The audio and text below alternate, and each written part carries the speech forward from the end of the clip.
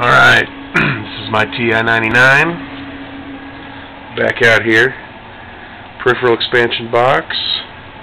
Here's my speech synthesizer.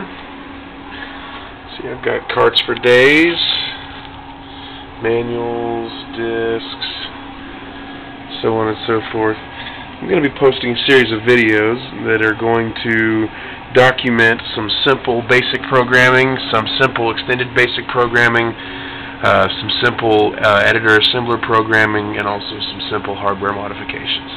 So uh, please view my site often if you want to see any updates. Thank you.